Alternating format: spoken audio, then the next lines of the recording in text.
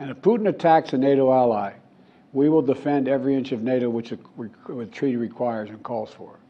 We'll have something that we do not seek. Make it clear we do not seek. We do not seek to have American troops fighting in Russia or fighting against Russia. And if Putin attacks a NATO ally, we will defend every inch of NATO which the treaty requires and calls for. We'll have something that we do not seek.